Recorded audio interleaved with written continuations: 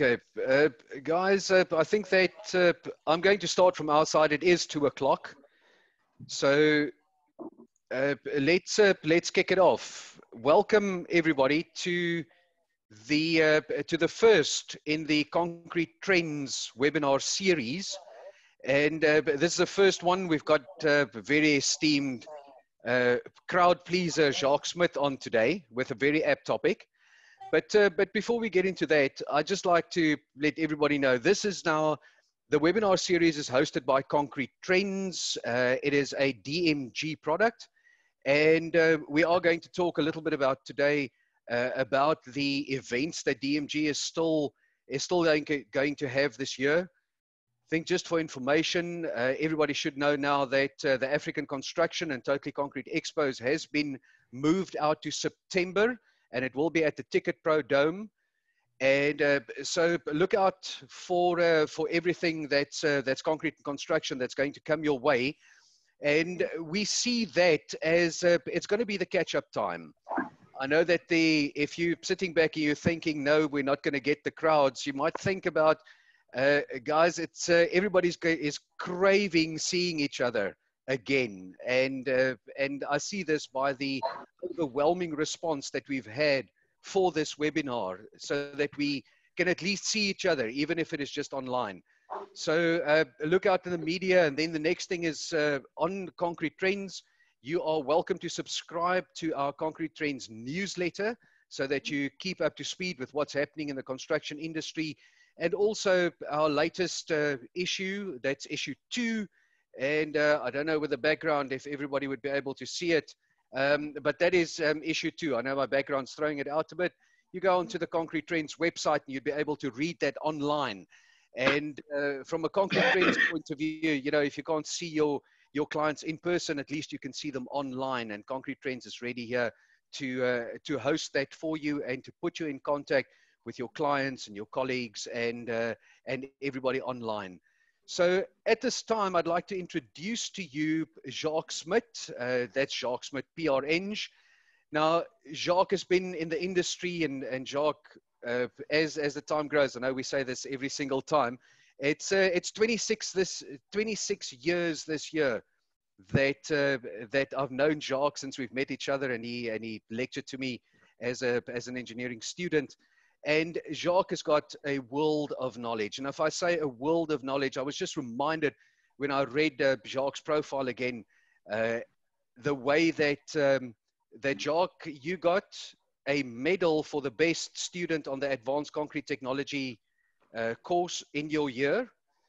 And then at the same time, what Jacques is doing now, Jacques is also doing for a lot of other people because that's been followed up by, um, by one of Jacques' students, Jaco Duplessis, and also a colleague today that has also received many accolades uh, for having, uh, amongst other things, the best project uh, on the Advanced Concrete Technology course. So, Jacques, thank you very much for, uh, for giving this to us today. I think this is a very apt topic.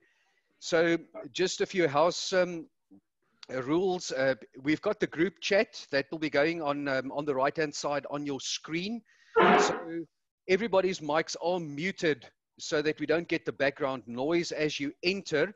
If you would like to speak, you will have to unmute that mic, but I would uh, uh ask you just to, um, to uh, refrain from that until the presentation is over.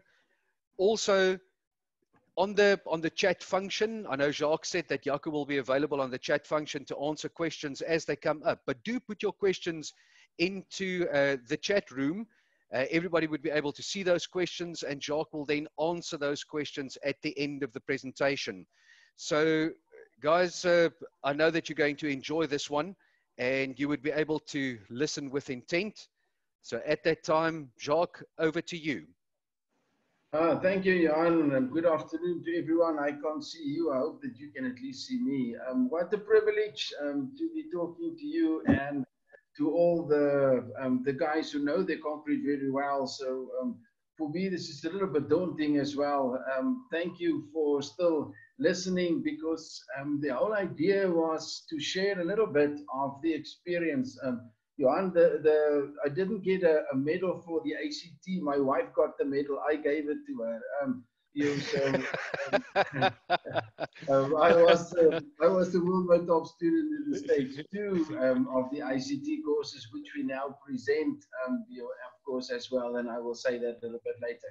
Um, be it as it may, the idea was, and I'm going to flick through my um, through my presentation. You, um, first of all, thank you, Johan, for for so helping so enthusiastically um, with this. Thank you for DMG Events Concrete Trends for hosting this um, and being the platform on which we can present this. My team that's helping, and then of course for the parties in the whole court case, um, you that had to even okay for me to actually put this up. I'm, I'm I trying to disguise a little bit on, on who's involved and so on.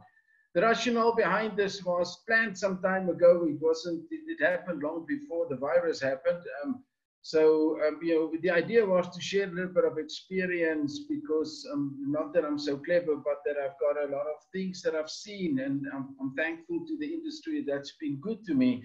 Um, and this is sharing a little bit of that back. And this is not just one event, but in a series of events. So we will have a couple of short webinars from the same platform, real case studies, mostly not well documented in books. Um, these are things that actually happen on site. Uh, you see the people, this is South Africa. This is not um, Europe and you know all the other fancy stuff. So this is from South African point of view. Um, you know, and um, of course, you know, um, this would also assist, um, you know, to give you an idea um, on what we do and how we present um, courses, um, the ICT suite of courses we do from stage one through to stage four, which is the advanced concrete technology course as well. So if anybody's interested in that, you know, this is my marketing little bit as well, um, that we present them in the future. You know, we will be presenting some of those lectures also online um, that guys, and also our revision seminars then. Um, so most of this online, and the idea is also to spread this a little bit further and even up into Africa. Okay, let's get into a court case. That's what you are here for. Um, you know, um, I often hear guys that threaten others and they say, um, you know, I see you in court. And you know, my advice is always, guys, if you haven't got a lot of money, don't don't even think about it. It's expensive. Um, you know, it's expensive to go to court. Um, you, you cannot go to court for less than 250,000 bucks. If the dispute is 250, I'm going to walk away because you will not be able to pay the advocate and an attorney and me. Forget it, you know. Um, so it, it might actually happen like less than a month ago. I was involved in a case where the legal fees um, now run at about two, twice, three times um, the amount that the guys are um, having in dispute which is absolutely stupid. And one of the specialists is also online now, um, you know, and listening to this. So, you know, unless it is a really large amount, you know, you can't go to court for 70,000 bucks. You know, don't even think about that. Okay. Um, in this case, 30 MPa concrete was ordered in March of 2016. Right. Um, I represented the ready mix supplier. I came into this case fairly late. I think if it hadn't been for that, we might have stopped it from going to court in the first place. A ring beam in a reservoir was cast. The concrete was to be offloaded by wheelbarrow. And then all the ready mix guys go, ah, oh, no, come on. You know, you're not serious. You know, so we, but okay, what else should they do? This was a ring beam. It's not a huge reservoir. Um, you know, 16 or 18 trucks or so. It's not a huge amount of concrete. Um, so some trucks were kept on site for four hours. Okay, we'll get back to that to the weather and so on. Yeah. Um, no, uh, no water was signed for. This is the first things that I asked. Okay, number one, what is the concrete syringe beam? 35 MPa. You offloaded how? With wheelbarrows. Uh, okay, fine. Um, you know, some of the trucks on site for four hours, which means they added water. Did they sign for the water? No. Now, you know what? If you're a ready-mix supplier and you have people and adding water to your trucks and you don't sign, then you deserve the trouble that you're going to get. Okay, that is really just stupid. So um, sort it out. Okay, there's a picture of it. That's the only picture that I've got came out of the um, the court files. Um, you know, I, I just copied that. Um, but there was a ring beam in the reservoir. Okay, let's look at the testing because, of course, the dispute um, on strength goes about the testing. So the process control cubes were taken by the ready mix supplier and tested by the cement supplier's lab. This is in Cape Town province, your guess. Um, you know, I'm not going to tell you who that was. Okay, but um, um, yeah, okay. So uh, that I think says enough. In any case, the guys tested um, for process control um, cubes. They, they actually sent it to this to the lab to test. The engineer ordered cubes to be made by a SANAS accredited lab, and I go, okay, that's something that we can work with. Well, not always. Um, not always. So you know, we run a lab that's SANAS accredited. Um, I stand against other labs that are SANAS accredited that get different results. Um, usually different. And we've been sitting and fending for that in a couple of meetings in the past year. Um, the contractors sampled and made tubes for testing at the same accredited lab. Well, there's only one lab in the, in the region, so they send it and the lab is SANAS accredited. So the engineer ordered cubes to be made by the lab itself. The contractor samples his own cubes, he makes it, and then he's going to send it to the same lab now for testing. Got it. Okay, so the cement, uh, the cement lab, um, the seven-day results failed. This is the process control cubes. Uh, there's always a little bit of a doubt. Process control um, is not the normal cubes that you have on site, um, you know, that they make on site um, for, for the quality assurance. But um, you know, this is for the for the ready mix supplier to see that these processes are under control. So the sampling, of course, is different now. You got to think about what you want to do with process control cubes. Specifications say the engineer may accept that. Okay, we know the new specifications are going to change, but that's what it is at the moment. The engineer seven-day cubes actually failed. Um, right, so he made uh, two cubes for seven days, and the contractor seven-day cubes also failed. Um, okay, so this is where um, where we got to halt a little bit and say, what do you know about seven-day cubes? The seven-day cubes um, is not a legal requirement. Um, so lots of the engineers nowadays will actually stop the project here and say, no, absolutely not, you're not going on. And I caution the guys and say, be very careful what you do because um, the seven day results would be an indication, and an early indication of what that we might expect a low 28 day result, but you don't know. So um, be very careful to go and issue an instruction to remove the concrete at this stage. Um, because you must look at what, you, what your rights are um, as the engineer. And lots of the engineers will say to me, Jacques, um, listen, I am the engineer on the site and you know, I make the decisions. I've got the right to decide this and I have made my decision. This concrete must be removed. Done.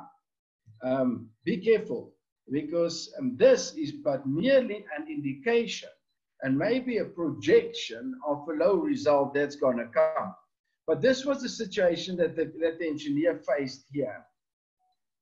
Now, in dispute, somebody measures and somebody disagrees. Otherwise, there would not be a dispute. Somebody accuses and somebody defends.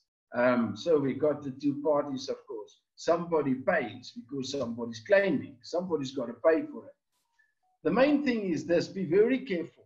What is on paper is what counts.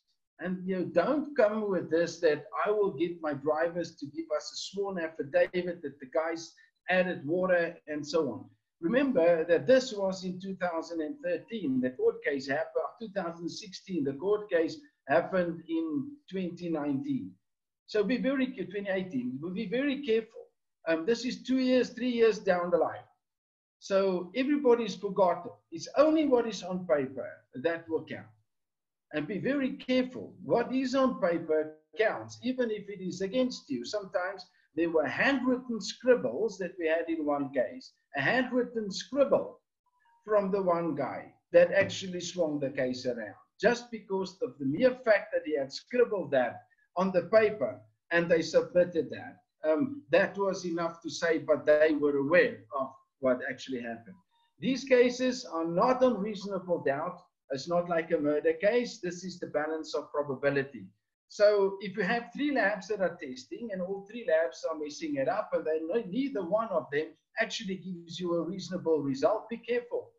Um, because the judge might look at that and say, although all three of them made mistakes, but all three of them say about the same thing, that means that in all likelihood, um, the balance of probability says that this concrete um, didn't quite make it. So be very careful. Um, it's not about casting reasonable doubt um, over all of these labs and thinking that that's going to answer for it. It does not. Um, okay. And the main thing is this, you must realize the onus to prove is on the guy who claims. So he who claims must prove. Hy wat eis moet bewys. He who claims must prove. So you got to be careful. If you are, um, if you want to claim something, you got to prove um, that the concrete was wrong. And so frequently we get to a stage where the contractor will say, um, and the guys come to me and they say, but you must prove to us, you delivered the concrete, you stand for the ready mix supplier, you prove that the concrete was okay. Go, no, we didn't have to prove diddly squat. You have to prove that the concrete was not okay. And if you haven't got the proof and you can't put it on paper, then you got nothing. So be very careful um, with this because if you're going to claim, then you must prove. Okay, so know your specification. Now, I put this in here because we had it on the SARMA website when SARMA still existed. Um, that's, of course, off um, at the moment. Um, but just a few, a few questions on the slump test. So if you think that you know the slump test, let me ask you a couple of questions. When a truck arrives on site, how long after the truck arrived are you supposed to sample? You certainly can't leave the truck for three hours, which is what some of the guys do. How much should you sample? Can I sample from the concrete that's already on the ground? How long after um, I sample am I supposed to test? Or can I keep the sample for half an hour, an hour, and then test it? How long does the test take? How long have I got? Can I do one layer and then wait 15 minutes? Um, is that allowed? Is it not?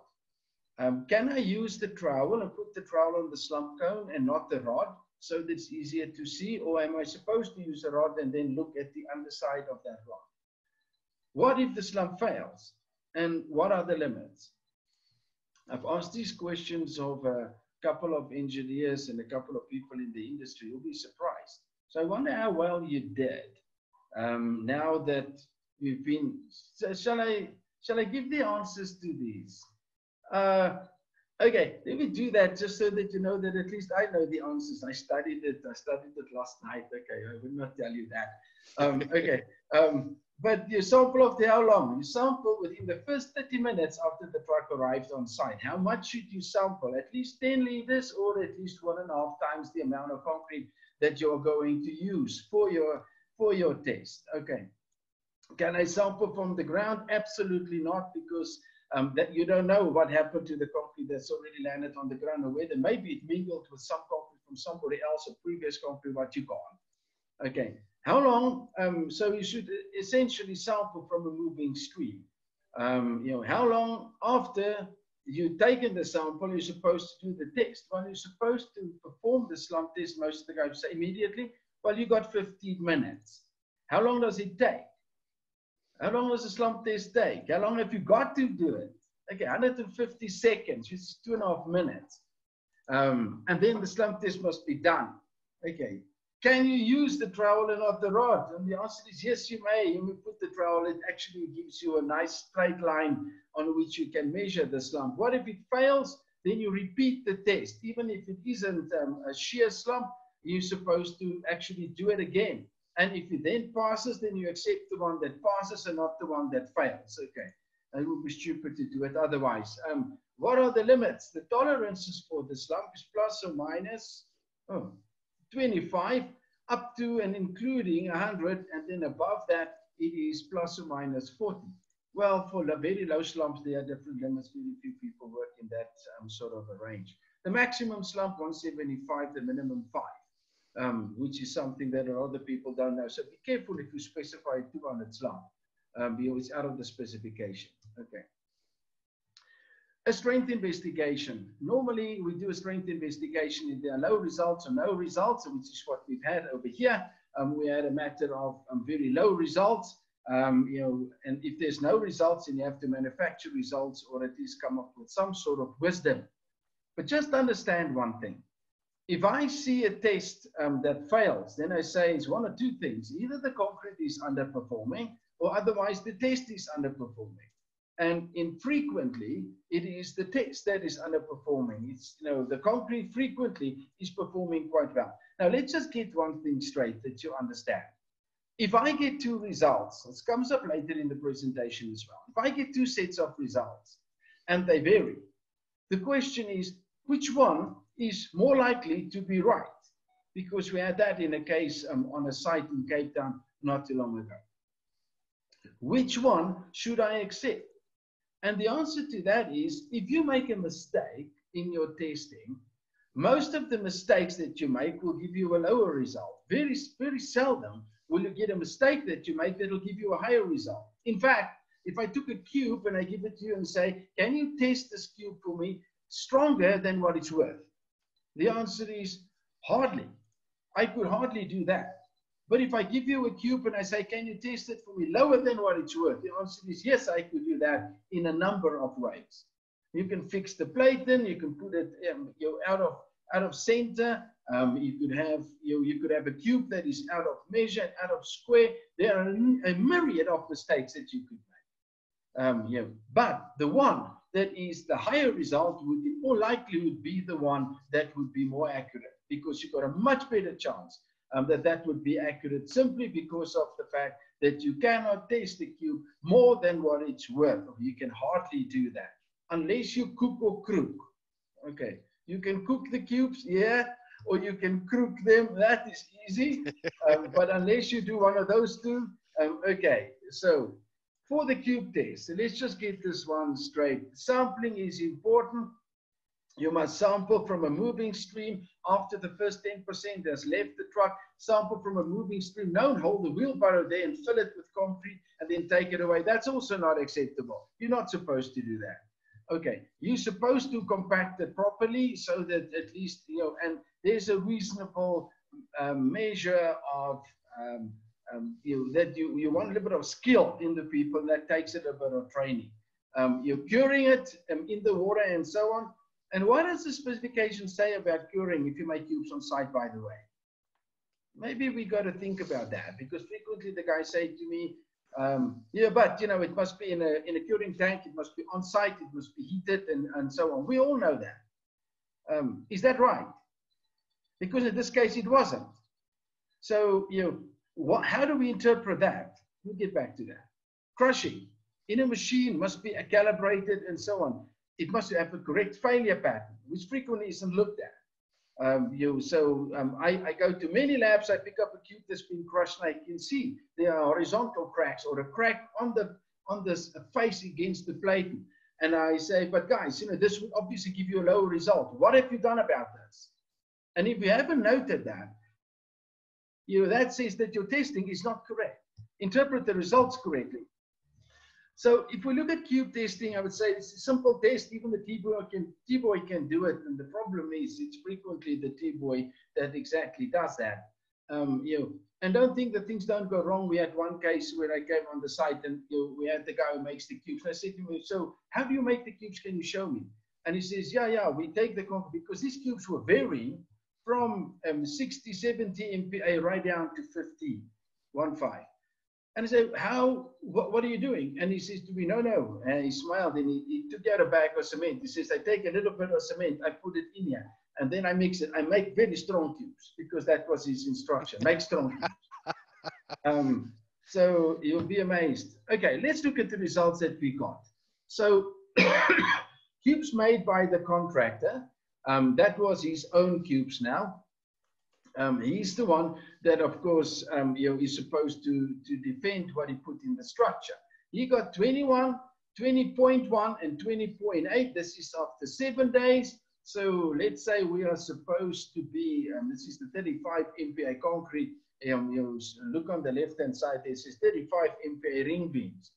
Um, seven, seven days, you know, so we got 20, 21 um, MPa. Clearly not going to make it. This is not going to go to 35.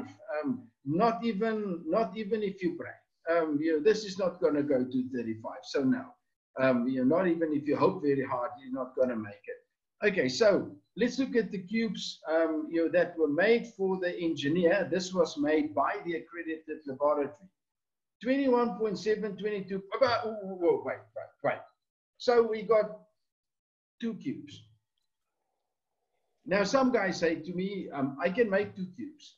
I'm happy to make two cubes. So, you know, um, because our standard deviation is very low, I make two cubes and I'm happy with that. I live by it. Then why don't you just make one? You, why do you make any? Because the problem is that it's not a valid test result. You might not like it. You don't save money on testing. If you think about the coronavirus, let's save money on testing. So how clever would we be? No. you know what? If you want to spend some money, spend the money on the damn testing and get it right. So yes, 21.7, 22.2. Thanks, Johan, for sneezing in your elbow there. I'm very apt for this time of the presentation. Okay, um, you, you can't test two cubes only. For what? To save some money. Two cubes. Are you serious? You know, okay, so anyway, he got very consistent results, or we don't know whether it's consistent or not because it's 21.7, 22.2. I took the lab on and I said, How dare you guys do this? Because you are an accredited lab, which means this is not a standard test anymore. You, according to the test method, you were supposed to make three cubes. Okay, so the answer to that was very clever. Um, the answer to that is when we get to the testing, it says test the cubes. It doesn't say test three cubes. When you sample and you make it, so sure you're supposed to make three. But when you test, you just test the cubes. It doesn't say test three cubes. So I said to the guys, okay, so you know it does it does say that you were right in saying so. The question is, did you make three cubes? And he goes, no, we did not then you are out of specification because you should have made three cubes. Maybe you would have tested only two, but that in itself would be absolutely stupid. But that's the level to where we go and degrade the discussion to sometimes. Okay. So there is the cement lab cubes were left on site unprotected and they were disregarded because they were left outside, not even in water or nothing. Um, and so that was um, that was discarded in total. Now, the next question is the, the, the, the, um, the, the ready-mix supplier's own process control cubes should be submitted. Um, you know, and I frequently said, well, you know, if they pass, yes, if they fail, don't. Um, because the people will misinterpret what actually happened. This was not a sample that was taken according to the specification on site from a moving stream after the first um, 15 or 10% of the concrete left the truck. So no, um, you so I, in my opinion, you the um, process control cubes will help. Um, if they fail, then I would rather disregard them and not use them because it's also possible that the, the other influences might be might have been too high. So the next step, the engineer ordered Schmidt hammer results. Remember now, he's got seven-day results from all three labs that were low um, they all tested 21 around for a 35 MPa. So we said, let us do Schmidt hammer test results. Okay, because we don't know what's going on. Um, watch this, this is interesting. What can be decided on a Schmidt hammer result according to SANS 10100? It says, now let me just quote somebody who's in the meeting as well and whose picture I've got on my screen who said that a Schmidt hammer um, you can be used. Um, you, Johan, you want to say that? You know, you use a Schmidt hammer, you throw it against the wall. If the Schmidt hammer breaks, the concrete is strong. If the wall breaks, in the, um, the you know, then the um, of course, you know, the concrete was not okay. But there's room for this. Um, the testing via rebound hammer may be permitted by the engineer to determine relative strengths. That is, if you have some concrete that you can compare it with, as an aid in evaluating the strength of concrete in place or for selecting areas to be cored. Watch what it is there for. Such tests, unless properly calibrated and correlated with other test data, shall not be used as a basis for acceptance or rejection. So this is to get a gut feel. Okay, so we're not going to make a decision based on Schmidt hammers to remove this concrete or replace it or anything um, like that. Okay, so that at least we know. So then, now it was 18 days. The engineer now ordered the crushing of the other cubes to see what the situation was. So um, two cubes must now be crushed, he says, because he's only got two left now because he only had four cubes, two for seven and two for 28, which the lab did to, of course, save some money, which they did. Feels kind of clever, Mikey. So they did. These results also seem to be low. So now here is the results of the 18 days. So we got the seven day results, 21, 22, and then you got the 18 day results, which is now 28 and 27.4. The first question is, what do you learn from this? What do you make of this? Because there's no precedent for an 18 day cube. What's the purpose now? To get an impression of whether we should what draw cores or not, or what? What was the purpose of an 18 day result? Okay, well, this decision was made, um, be it as it may. So we got an 18 day result. So we get 28 and 27.4. So the question is, can this concrete make it to 35? What do you think? After 18 days, well, after seven days, we're supposed to be 65, 70% or so, depending on the type of cement and, and a few factors. But um, you know, so we understand that that should have been in the region of maybe 28 at seven days, we might have made it. 18 days, we got 28, 27.4. Well, this is low. We understand that it's low. How low is it? Is it so low that you want to make a judgment to discard this concrete and not accept it at all? Well, so let's look at the Schmidt-Hammer results. 25, um, 20, 15, 10, 18, 20. What is that? What do you make of that? This is more than 30 days now. So what do you make of the Schmidt-Hammer results? We, if I had been the engineer, we would say, oh my word, either the guy doesn't know how to use a Schmidt-Hammer or otherwise we have no idea what we've got in here. And I would get really nervous. The question is still, who is guilty of this? We understand the company didn't make it. So the contractor crushes his three cubes. 26.0, 26.9, 25.8. That's what he gets after 28 days. Now, this is about what the engineer's cubes did after about 18 days. So we now know the concrete didn't make it. It clearly didn't make it. It's not close to 35.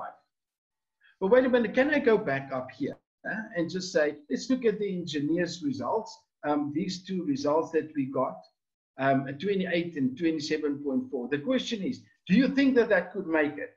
18 days. Formulate for yourself quickly. Make your opinion. Who be the judge of this? So this is just to put it in perspective for you. Seven days. The engineers two cubes did 22. The contractor did 20.6.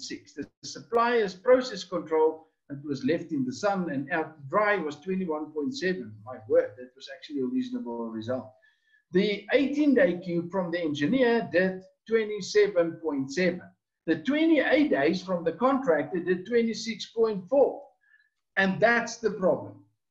And that's the problem because how can you, after 20, after 18 days, same lab, same accredited lab, get 27.7 while 28 days is the contractor gets 26.4. Oh, wait, the plot thickens. This is not it.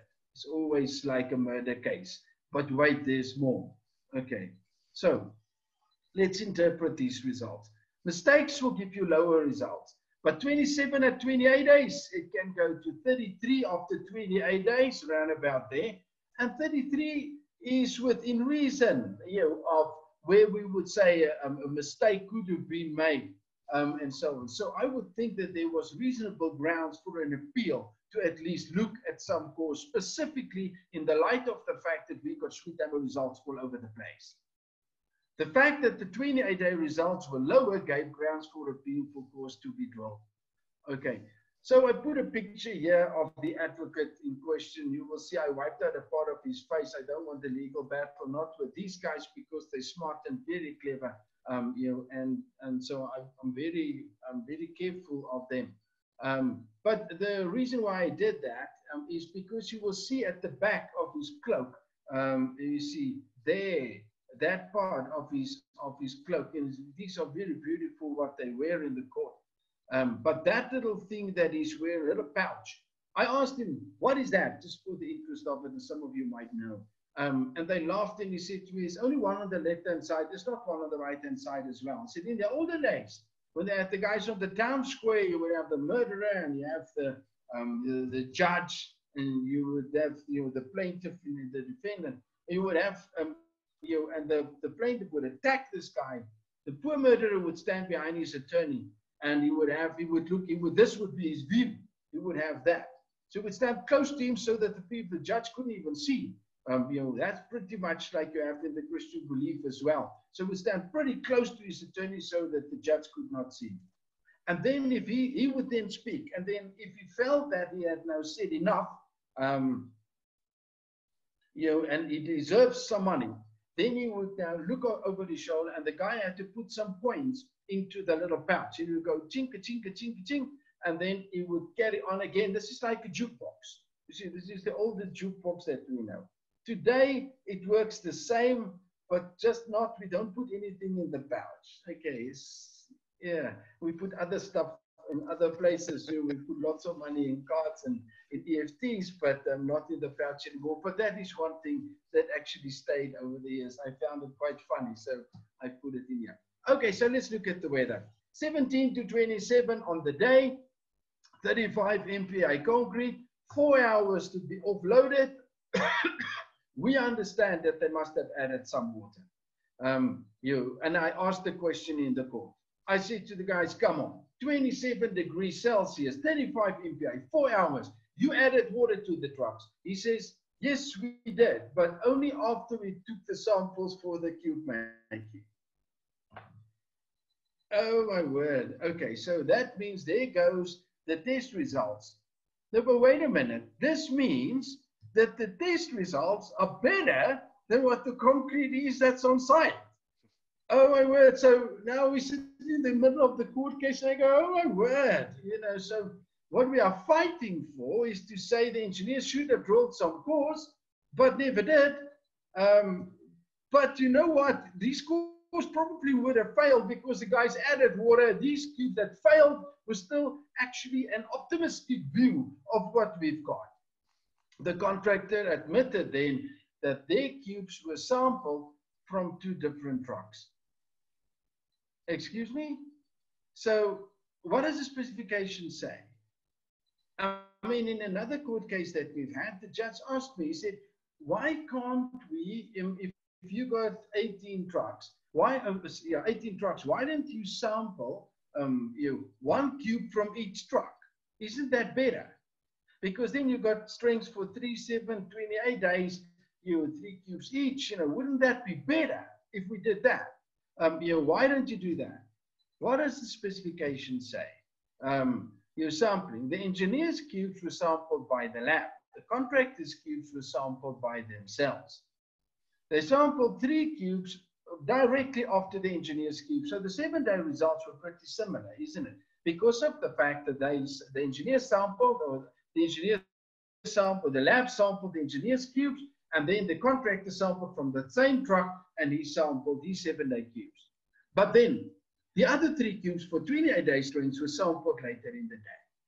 So that's got no relevance to this, you know, to the other cubes because this is a completely different batch. The argument was, but wait a minute, this is all the same concrete, isn't it? It's one big batch of concrete. And we've taken samples out of a big batch of concrete. But that's not what the specifications say. How about if we take one cube from each truck? Isn't that better, is what the judge actually asked me. And the specification is quite clear. Each sample, this is out of the spec, one sample being sufficient for three cubes for each testing age.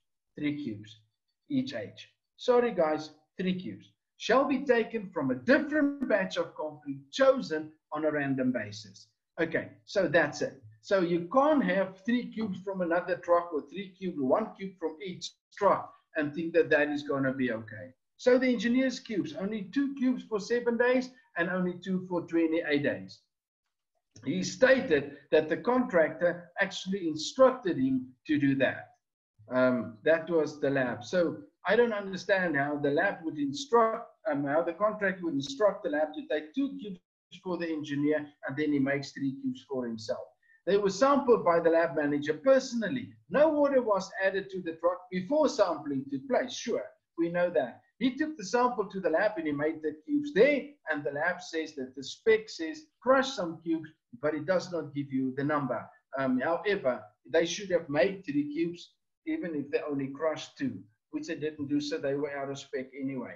But sampling and making cubes says, and I couldn't reach my last sentence there. Um, there's other stuff on my screen now. Um, um, okay. Um, the contractor's cubes, these were made and cured on site. They were cured for six days um, on site. Okay. They did not have a heater tank. They didn't have a heater tank, but they had it in water. What does the spec say about that? And most of the guys say, come on, guys, you must heat the cubes. Okay. Now, in this case, the photograph there is, um, you know, we found it on the site. Um, don't want to tell you where it was, um, one of the power stations, but um, there's some cubes in the drum with no water in, and you so that's not okay. The spec says protected for 24 hours. Okay. Then on-site prolonged in water, okay, preferably at 22 to 25, preferably. And they say prolonged. So they don't say how long is pro prolonged. You know, is six days prolonged or not? Six days is definitely um, way prolonged, I would say. Um, but then you're supposed to put it in water. You know, so that's what the guys did. They put it in water. Um, they just didn't heat it. Can I say that's wrong? No, it's not. So that's acceptable. We understand, but if you test it after seven days, you're going to get a lower result. You must expect that at least. What about when tests vary? Two accredited lab vary by 8 MPa. This is another case that I was involved with. Um, and the answer to that is if you have two accredited labs, vary by 8 MPa, except the higher one, they're more likely to be correct because of the fact that if you make a mistake, you will get a lower result. Um, that's 90% sure in my opinion, even higher. Um, so, you know, I would, I would then go um, with a higher result, not the lower one. Engineers would tend to go for the pessimistic view because they're the ones who have to sign it off. The engineer's decision, and we're almost through, no cores. Um, the cubes are way too far off the mark, he says, and um, you know, knowing what I know now, I would almost agree with him. But knowing what he knew at the time, he did not know. And you know, with those cubes after 18 days, sitting at 27 and so on, I would have drilled cores to actually check what we got on site. That would have been a, a way better decision, in my opinion. Schmidt hammer results confirmed this, um, you know, that they were way off the mark. And so he actually said that cast the new ring beam on top of the old one, and then the ready mix supply will pay for that. And that you cannot do. You cannot go and do that. So core results let's just look at why I actually say that I think that core results would have been the better option. Where so require, according to the spec, drill core shall be obtained and tested in accordance with the SANS 5865. Core shall be drilled and tested when the age of the concrete is close as possible to the age for strength um, acceptance according to the kits. The principle. You cannot chase up costs on somebody else's account without notifying them. If a man makes a mistake, you have to give him a chance to rectify this. I know a few guys who've made some mistakes um, and whose wives did not. Okay, let me not go into that. But um, you know, if a man makes a mistake, you have to give him a chance to rectify it. I know some of you are laughing and some of you are thankful, but um, this is the principle in the law. Okay, so the same ready-mix supplier in all should have actually been given the chance to rectify. Maybe you, you change some rules. Maybe you say, come up with a higher strength concrete to give us the peace of mind or so, but you got to give him a chance to rectify it. You can't go and get somebody else and buy concrete at twice the price, and now you want to claim it from this guy. Unfortunately, not. Okay. So um, let me tell you a little story, and with that, we're going to conclude. Um, you, I will. Um, a man goes to a shopping center, and you park your car there, and here comes a lady and she dents your door. Okay, here comes another guy and dents the door. Here comes whatever and dents your door. Okay. So you take your car to the panel beater and the panel beater fixes your car and he spray paints the door and you're very happy. Saturday evening, you have a braai. All the, all the friends are there. That was before lockdown. You have a braai. All your friends are there. A couple of them with a couple of beers in hand. They stand there and the one guy comes and looks at your car. He says, very happy to see your car is back. But this door is not the same color. And you look and you say, what do you mean? He goes, hey, I can see this, they painted it different color. It doesn't look the same. And you go and you stand there and you go and say, hey, now that I look at it, you know what? it looks like it's not the same color to me as well. So here comes another guy and he says, wait, wait, I've got a cell phone app. You know, you're supposed to have it with this and that conditions, but don't worry. Let's take a picture of this. He goes, yeah, yeah, you know what? This app is not in the same light and so on, but it's not accredited, but I can tell you, my test result here says it's not the same color.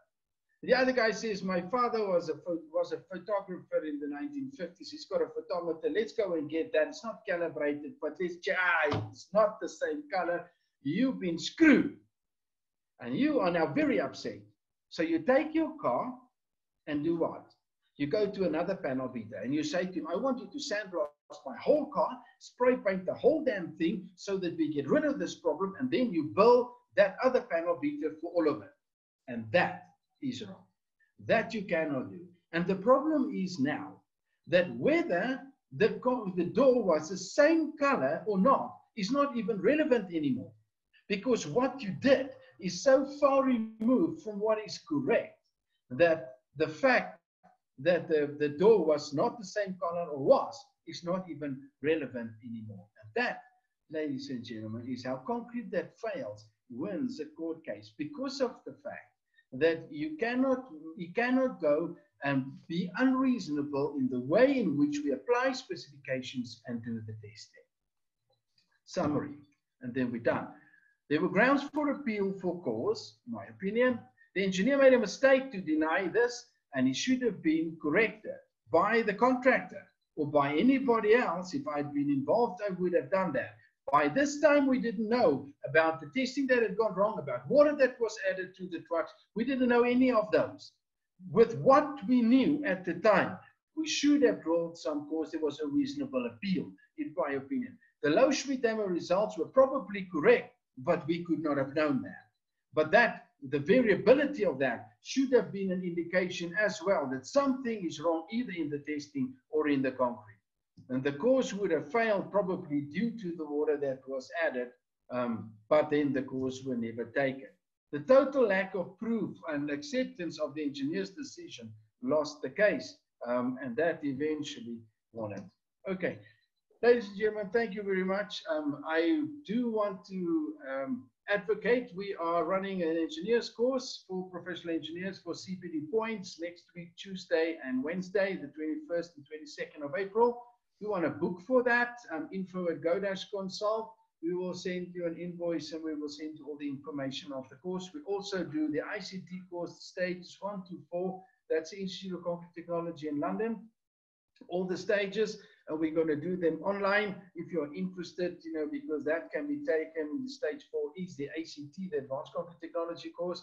Um, and we, um, well, we also will do that um, you online um, you um, in the groups and in the method in which we do that. Um, so we at least from our from our academy, um, I must say we had at least the worldwide top student on the ACT course, of which I'm very proud, um, you know, and quite a good pass rate um, for the guys who have done all that.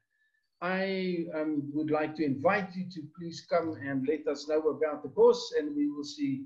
you know, we would love to see you on the course as well. Um, and with that, thank you very much for your time and patience. I hope you found it interesting. And the next time we will deal with some of the on-site crises that we deal with from time to time. I thank you. Uh, thank you very much, Jacques. Uh, Jacques, I think there's uh, there are a few questions that uh, that came through. So if I um just before uh, we go on to the other niceties, uh, I had a question that asked are you allowed to produce a SANAS accredited test report as a laboratory if the test does not comply to the standards, like it was in this presentation that two cubes were tested on 28 days instead of three? If you do that, um, you know, this is the SANAS requirement. Um, if you if you do a test that is not a standard test, of course you're an accredited laboratory, which means your systems are accredited and the way in which you do it, and all your machines are calibrated, and the people are trained, and all of those things are in place. Um, so your SANAS logo can still be on the test result. However, you must then state um, that this test is a non-standard test. Um, you know, the same way in which, and when I was at the Concrete Institute many years ago, um, you know, that was still the CNCI at the time, um, you know, I can still re clearly remember that we would do a certain test, um, a cube test or so, and then interpret the test result. And we would clearly put a thing there that says, um, you know, the opinions here, um, you know, or the interpretations of the test result are not covered in the accreditation of the test. So you can have that test with a SANAS logo on top of the lab because the lab is a SANAS accredited lab. So long as you state and you say, this is two cubes, this is a non-standard test, it deviates from the specification in that only two cubes instead of three were tested at every age. Then it is all admissible. Um, then at least somebody who takes this cube result will then look at that and they will they can understand where it is not actually meeting the specification. Okay, then uh, there was another one, Jacques, uh, that uh, can you produce a test report uh, under with the SANAS logo on your report if you are not accredited for that test? I think we, we all understand that laboratories are accredited for specific tests. So if somebody is, uh, for instance, accredited to do uh, to do sampling of concrete, but not specifically the making of the cubes, or the testing of the cubes, um, can they still put a cube test result on a report that's got the SANAS logo on it? The, the principle is still what makes logical sense. Um, you are not supposed to, to mislead anybody. Anybody who takes your test report must look at the test report and then and from that very quickly be able to interpret exactly what you have done and which of this was done under the accreditation. You know, the accreditation goes as far as that I can use another accredited lab to do part of the test under their accreditation or even under my accreditation, so long as I state, clearly state what happened. Now, you know, the guy that I know that is probably the quickest in taking a test result and then interpreting that result is probably my partner Yaku. I haven't seen somebody that is as quick to take a result and say that's wrong, this is wrong, that's not right, that's not right. Um, you know, but you must you must then you cannot mislead the reader of your report. That that person who looks at that you know, who looks at the test result must clearly know that this lab is accredited for this, for that, for that, for that. So you will see that in a cube report where the, the people make the cubes on site, and in this case, the contractor made his own cubes, left it on site, send it to the lab. Did the lab make a mistake? No. The lab said these cubes were received on a certain date. They were made, sampled, made by the contractor and not by us. Um, and you know, so and we made the cubes, um, and we received the cubes, we crossed it under the accreditation. The lab who samples, if they're not accredited for sampling, um, I, you know, most of the guys, if they accredit for cube testing, they would be accredited for the sampling as well. Um, but if they were not accredited for that, they should say sample not under the accreditation, um, you but the cube testing was done under the accreditation. There must be a remark. There's a space for that on every report, or there should be a space for that in every test report. Okay, and then uh, Jacques, so in the end, who is accountable? You know, if the if the contractor added water, uh, even if he signed for it, uh, you know, uh, who is then accountable?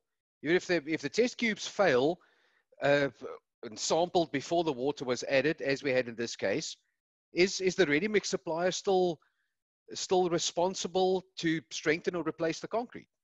Jan, I know that you know the answer. Thanks for asking the question for the benefit of everyone else. Um, um, you know, it is, um, of course, um, you know, the it is responsibility of the contractor to give concrete, um, you know, his contract with the with the engineer is that he will actually provide the concrete that will meet the specifications so that the structure will be stable um, and safe according to what the engineer actually stated and what he requires.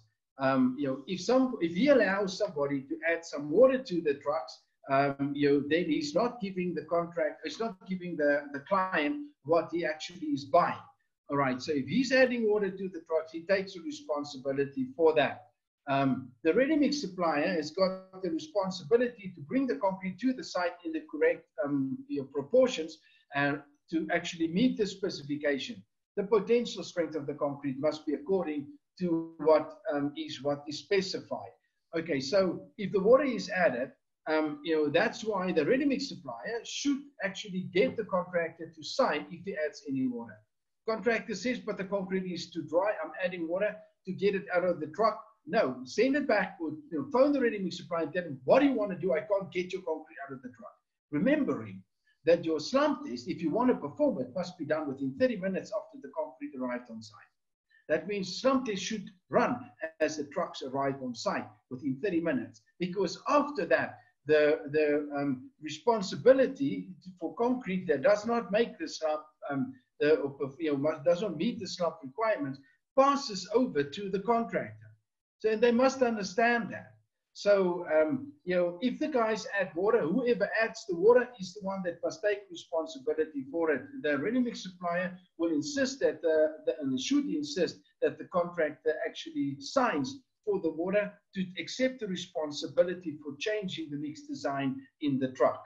Okay, if he doesn't want to do that, then don't add the water, and you um, that then you because that will be stupid. Don't add the water. Send the truck back. The responsibility sit where it's supposed to sit, and that's with the ready mix supplier.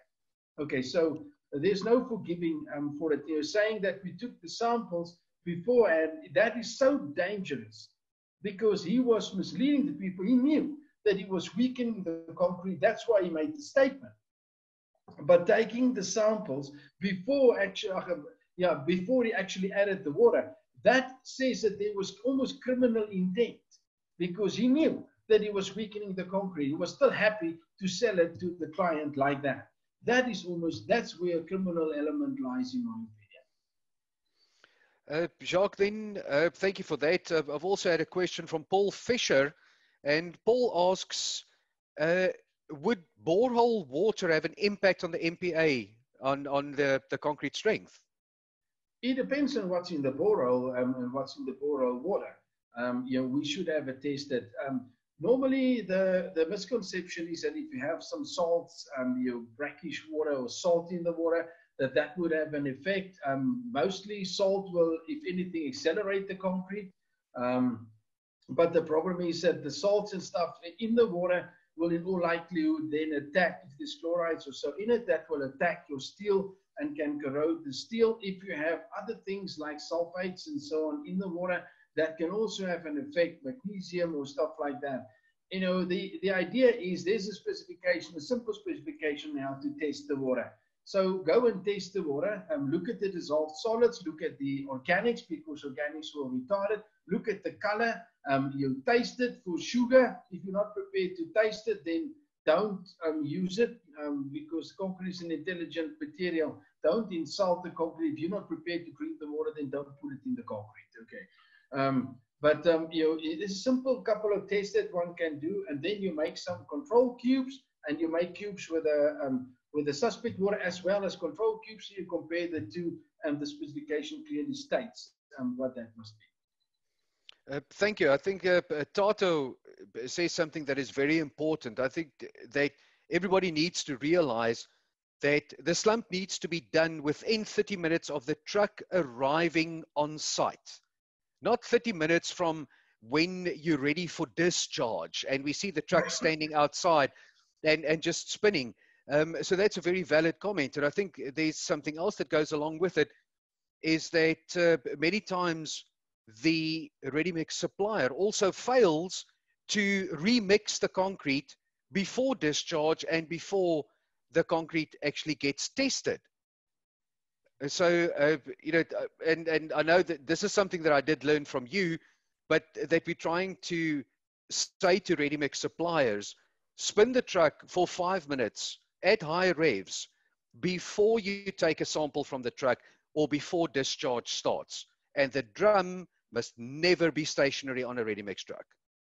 Um, correct. And you know, the, the concept is that you want a representative sample that is representative of what is actually in the truck. Um, that, that's what you're supposed to test. So then in, in conclusion, and if I, I don't see any more questions, uh, then in conclusion, I'd just like everybody to know uh, this is a series that we are going to uh, to be running. We are going to get some information from Jacques, and, and I know that uh, that uh, both uh, Brian, Gary, and um, and John from the Concrete Institute they would also like to get in on this. And this is for information for anybody that is ever working with concrete. Guys, so if you need that information, please log on to the Concrete Trends website and subscribe to uh, the Digimag and to our newsletters. That's where you're going to get uh, the updates of when these webinars will be running. And on the side, I've just spoken to Henry Cockcroft from the Concrete Manufacturers Association so that we can we can also run a webinar on certification and, and SANAS accreditation, just so that uh, we can explain that more. All of this is just to add to the quality of concrete, or if I can say the perceived quality of concrete, that we get the tests right and everybody follow the responsibility when it, uh, when it comes to testing concrete and using concrete. So Jacques, in short, actually, I want to put you out of business because if everybody gets the concrete right, then um, we won't have uh, we won't have uh, presentations like these anymore. Jan, can I say that when I joined the Institute in 1991, um, I said to my wife, you know, we're gonna, it's gonna take us three years to train everybody. Um, and after that, I will, the, the Institute will probably fire me because I will not be able to train anybody because everybody will know. So that was in 1991. Look at where we are now, 2020. and you know what? We haven't, we, I think that we are we didn't make any progress. Certainly, I think that we are back um, on the level of knowledge that we have in our country. If I have to make an assessment of that, so we're not we're not moving forward. And if you are training on concrete, I don't think that you'll ever be without a job. You know, certainly might not might be that the people don't want to pay for the training, but that they need it. Mm-hmm. Sorry, well, um, uh, Jacques, yes. can I, Jacques, Nicholas McDermott speaking. I'm, um, I'm right-hand man to, uh, to, to Johan. I've just started with the company. I just wanted to thank you for your presentation. I attended recently one of these online uh, webinars, and uh, it was quite a big to-do, and it was you know, it, it, was it was um, live from Saudi Arabia, and it was fair enough. It was a good deal, but I can tell you, your presentation, you outdid them all. I was very, very impressed. Thank you. Thank you very much. I appreciate it. Thank you. Thank you, thank you, Nick. And, and just for everybody else's benefit, um, Nick is also producing some editorial for us for Concrete Trends uh, as the publishing editor of Concrete Trends. So you're going to see some more news uh, on these type Indeed. of case studies, and um, and we'll be working through them. And then just to answer one last question before we uh, go off, uh, Kulakani Mtlongu has asked if there are any courses available for the small contractors who lack the knowledge of handling concrete on site. And the answer to this is Kulakani, there is a lot of courses. There are a lot out there. And I know that Jacques do them, and I know that the Concrete Institute does them. Uh, we have got John Roxburgh. So Kulakani, you are welcome to contact me directly, and uh, I'll direct you to uh, to Go Consult and to the Concrete Institute and to the Concrete Manufacturers Association and even the Concrete Society of Southern Africa that continuously uh, have got uh, knowledge sharing opportunities for everybody. So, and together we can, uh, we uh, work together in bringing the knowledge to the SMMEs. And, and I think uh, just as a last thought from, uh, from DMG and, and Concrete Trends, remember that we're all in this together and we really we want to bring the knowledge to the industry. That's the only way that we're going to grow this industry if we get everybody to uh, to know what to do with concrete and to support our growing contractors on site. And once we do that and we don't have to do jobs over or replace or strengthen concrete we will have more money available to build new infrastructure and house more people. And that's the drive from a DMG and a concrete trends point of view. and I'm sure that Jacques and, and, and Brian, you guys will agree with that. Let's, uh, let's get the knowledge out there. So thank you very much, everybody. Uh, I can see from, from the group chat that uh, people are, uh, did enjoy this. Uh, there's been a lot of thank yous.